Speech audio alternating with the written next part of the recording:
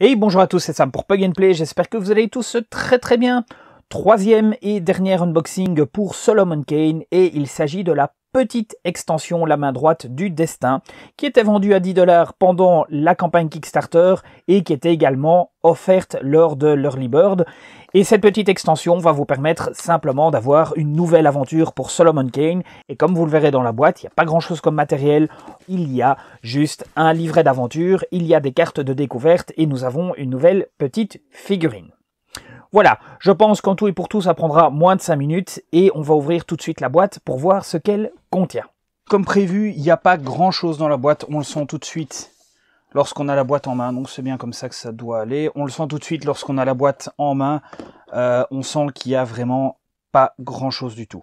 Contenu de la boîte, justement, on y vient, 48 cartes découvertes, que je pense on va de nouveau passer excessivement vite. Donc en fait l'unboxing va aller vraiment très très vite. On a une figurine de la main droite du destin. Je vous ferai un carrousel. Je vous ferai un carrousel pour une figurine. Tant pis, je vous ferai un carrousel.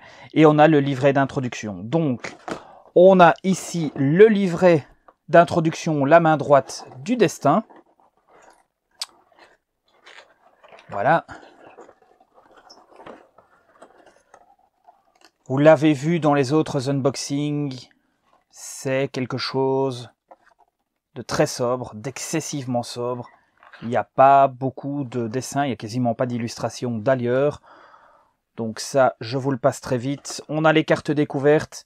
Je vais les ouvrir, mais c'est juste pour dire de les ouvrir. Je devrais même pas le faire. Vous avez vu dans les autres unboxings en quoi ça consistait exactement. Donc on a simplement ici des cartes.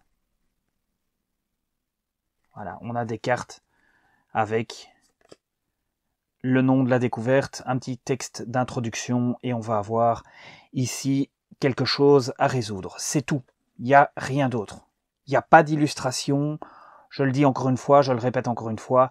C'est pas comme du Tented Grail où on avait plein de petites choses différentes.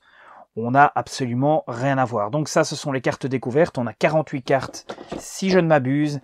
Et on a ici un petit hôtel avec une main. Sympa. On dirait la main de la famille Adams. Ça vient de faire tilt, en fait. On dirait la chose. Avec une, une petite main qui a été coupée. Et c'est tout. Il n'y a rien d'autre. Une petite bougie. Comme d'habitude, la figurine est très belle. Ça, on va pas revenir dessus. Vous avez vu dans les autres unboxings la qualité des figurines. Vous avez eu forcément des petits carousels pour les autres figurines vous voyez de quoi il s'agit, et c'est déjà la fin en fait de l'unboxing, la main du destin.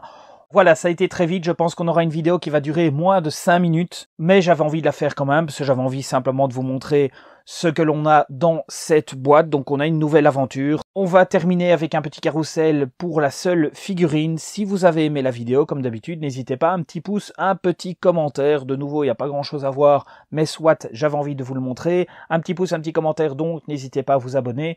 N'hésitez pas à aller du côté de la page Facebook. Moi, il me reste comme d'habitude à vous souhaiter une très bonne fin de journée. Il me reste à vous souhaiter de très belles parties, de très beaux jets de dés, et on se dit à bientôt pour de nouvelles vidéos. Au revoir.